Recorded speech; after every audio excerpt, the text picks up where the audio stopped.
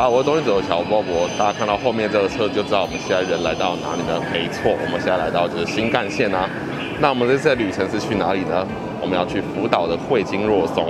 那之前我有拍过一个影片，是呃福岛汇金若松那边的秋天，但是我们今天呢是要冬天的时候去，带大家看看下雪的福岛长什么样子啦。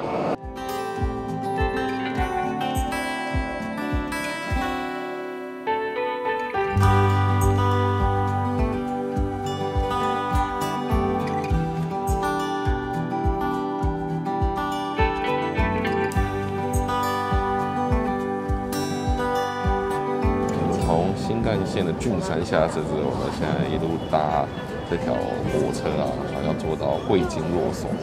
刚刚真是一连串搭车，说实在话，要从东京要到汇金若松，其实真的是蛮辛苦的。然后等下到紫间线呢，可能大概又要花个一个多小时，所以这一趟旅程应该花很多时间搭车的。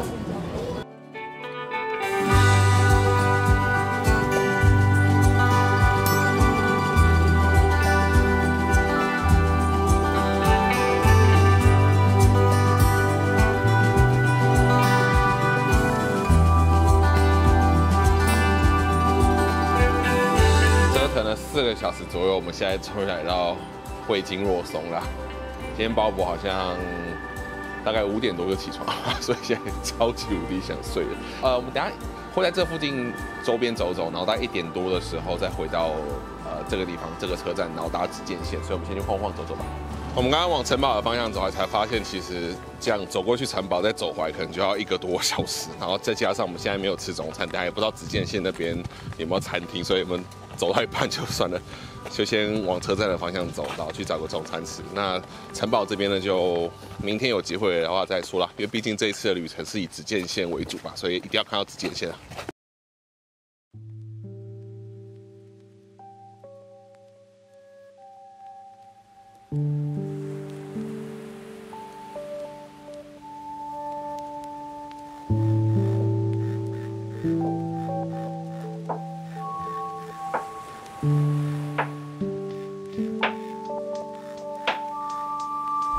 地方真的处处充满危机。我刚在路上行走的时候啊，因为地上真的太滑，整个就是地上是冰块嘛，我这个整个摔到天上去，然后掉下来，然后现在整个屁股超级无敌痛的。所以平常跟雪不熟的朋友们啊，就来这边的时候最好穿就是比较能够防滑鞋子，比较安全一点。就直接现在这边就是不能用 ICC 卡，所以一定要买票。然后我们今天搭到的地方大概是日币八百六吧。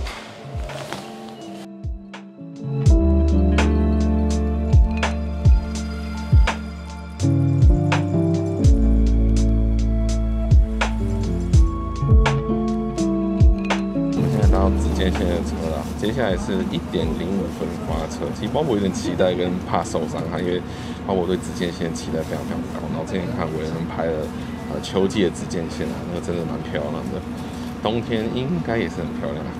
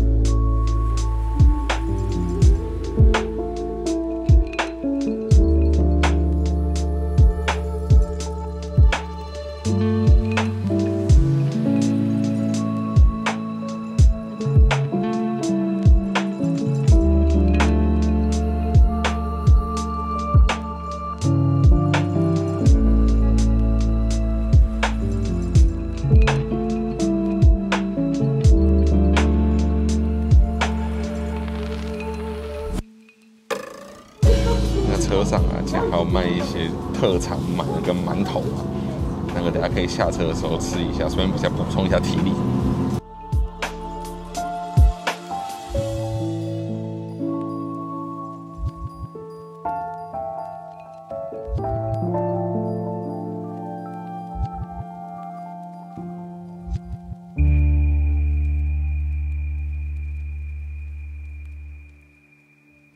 现在呢，我们要走到阿奇三兄弟，好像就三个桥吧。那边应该是有蛮不错的景，来来看看。但其实这边就没什么人下车，所以我觉得有点害怕，就是说我到底是不是有走错地方，还是怎么样的。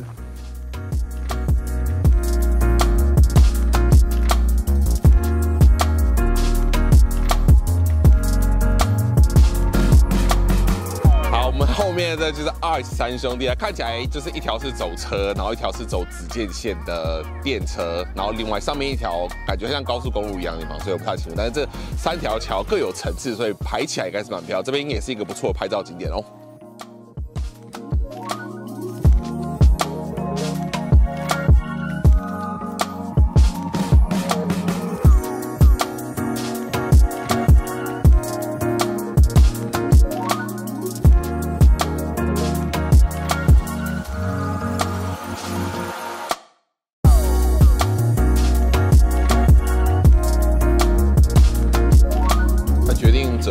攻下站，因为现在开始下大雪，然后如果我们到那个看直线线那个呃电车那个地方，因为这边雪太大，真的爬上去有点太危险。然后我们从这边啊，我们刚刚看到，如果要到呃我们就攻下会员站的话，那其实要经过一个很大的隧道，那那个隧道里面其实有点危险，包括会被车撞，所以我们就打算就是往。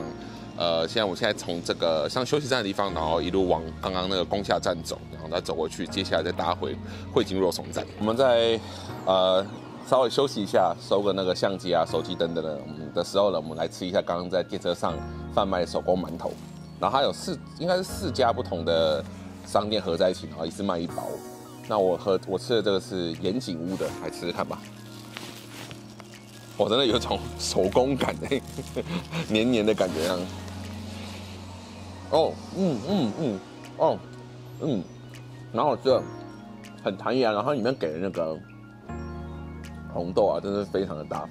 嗯，我觉得那吃完的时候，我们就要赶快去赶路了，我怕来不及搭电车，来不及搭电车，的话下一班好像四点过，下一班就七点，七点就真的完蛋了。好。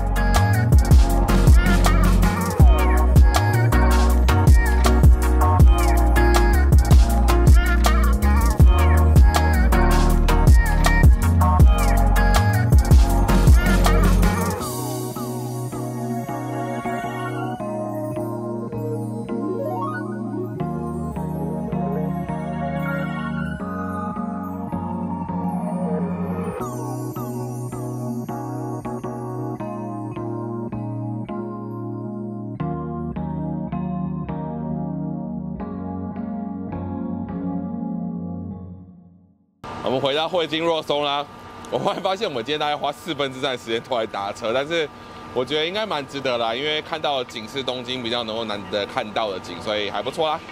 那接下来呢，我们就要一路前往今天下榻的饭店。其实今天下榻的饭店才是重头戏啊，我们选了一个温泉旅馆，然后听说呢晚上还不错，所以呢期待大家试试看啦。哦耶！我们镜头一转，现在到了这次下榻的温泉旅馆啦。你看，你看这个还不错哈，有种古名家的感觉啊。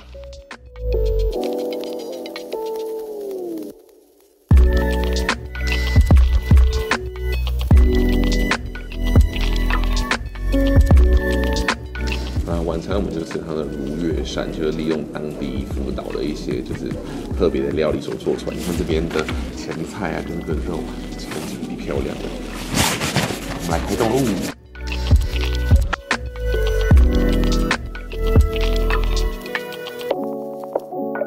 然后试看这个香菇寿司，嗯，看来它腌的还不错，应该是腌的吧？哦，嗯，吃起来很 Q 好吃，嗯嗯嗯。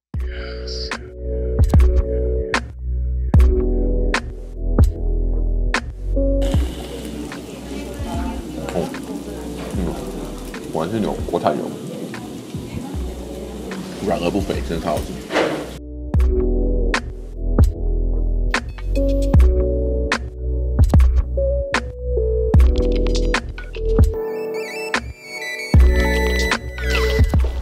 啊，吃饱喝足了，我们今天来探险一下这个旅馆。这旅馆好像还蛮大的，应该有很多可以看的地方。温泉饭店配雪景啊，就真的才有日本才有的独特的那种感觉哦。温泉旅馆就一定要喝当地的牛奶啦，一百三十块蛮便宜的，啊，还是当地的西乳最好喝。